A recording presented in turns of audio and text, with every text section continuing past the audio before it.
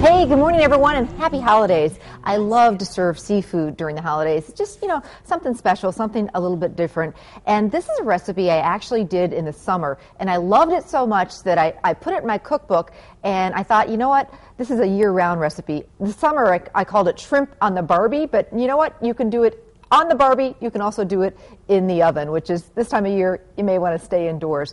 I love this recipe too because it's just so easy and it makes a nice big batch. So it makes a great party starter as an hors d'oeuvre or also you can, you know, serve it as the main course. So let's get to it. Shrimp on the Barbie, I'm calling it, or in the oven. So it starts out with about three pounds of shrimp. And notice I'm using the, the shrimp that's already got the shells on it. Uncooked shrimp right into, if you're doing this on the Barbie, do it in a foil roasting pan. If you're doing it at home, you don't want all the cleanup, you can also do it in a foil roasting pan, but any kind of roasting pan will do. Now I've got a stick of butter that I've just cut up in cubes, and I'm going to just dot that all over the shrimp, and it's going to melt and get all in there and become wonderful. A Few dashes of hot sauce more if you like it a little bit spicy, but we're going to serve some extra hot sauce on the side, so we're going to keep it pretty mild for now. And this is the secret ingredient. So we've got three pounds of shrimp, a stick of butter cubed up, dash or two of hot sauce, uh, about eight ounces of bottled Italian dressing. So one eight ounce bottle or half of a 16 ounce bottle, just kind of squirt it on over the top. Now, got to have a little bit of lemon, so I'm going to do the juice of one whole lemon. And then I'm going to take the other lemon and slice it up, half of it. Put a few slices right in there that are going to bake right in with that shrimp and just give it some more flavor. The other half of the lemon I'm going to serve with the shrimp on the table.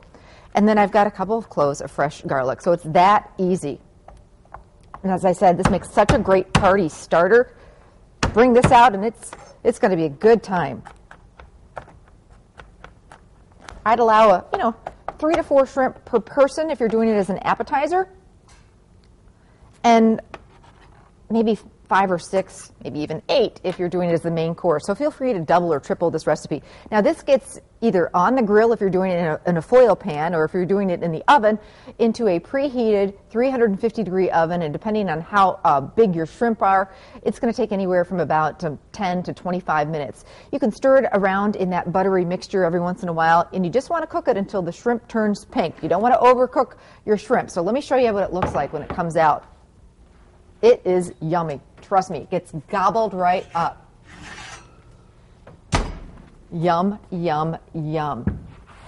See all that great butter? I love to serve this with some extra hot sauce on the side and then some crusty French bread to just sop up every little bit of that last garlic butter. And then throw a little bit of parsley on top. And while I'm chopping up this parsley, don't forget I'm uh, got my new cookbook out and I'm really excited about it. I'm going to be out signing today, this morning actually, at Green Bay's Festival Food West on West Mason from 11 to 1, and then this evening uh, in New London from 4.30 to 6.30 at the Festival Foods there. And then I'm signing all day tomorrow on the 23rd, too, at three different area Festival Foods. Uh, I'll be in the morning at Suamico, in the afternoon in Manitowoc, and in the evening at the Darboy location. So there you go.